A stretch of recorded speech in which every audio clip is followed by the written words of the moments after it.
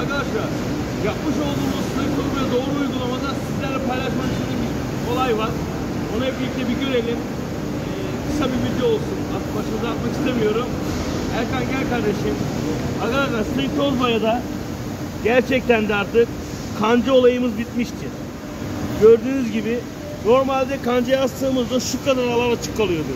Şimdi arkadaşlar artık nokta dokunuşlarla nokta dokunuşlarla neredeyse paneli havada götürme yolunda, havada havada götürme yolunda paneli doğru yolda olduğumuzu ve beyaz bir boyada gördüğünüz gibi kanca izi neredeyse yok denecek şekilde.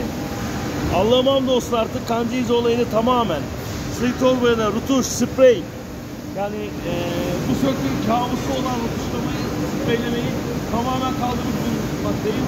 Ben buradan ekibime teşekkür ediyorum. Bu çalışma ekip birliğidir. Bu çalışma azimdir. Bu çalışma başlamaktır. Arkadaşlar başlamak başarmaktır. Herkese teşekkür ediyorum. Biz bu aşamaya geldiysek ihtiyarlar sayesinde geldik. İhtiyarların başarısı sayesinde geldik.